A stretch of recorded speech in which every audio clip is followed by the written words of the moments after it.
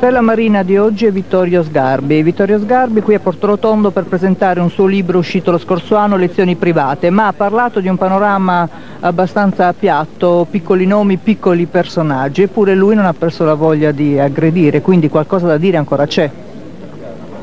Eh, io non appartengo a una categoria né definita né definitiva, per cui quando parlo dei politici ne parlo come se io non fossi come non sono eh, soltanto un politico e d'altra parte i miei comportamenti sono ancora abbastanza eccentrici e autonomi benché io sia rimasto completamente isolato per cui sto in un'area configurata e dichiarata detta centrodestra ma eh, le mie reazioni sono poi come sono sempre state autonome. Bossi ha una vitalità e una capacità di inventare scenari anche fantastici che accende questa piatta condizione politica di cui parlavamo. Però lei ha definito l'anno scorso Bossi una scimmia, la scimmia si è evoluta?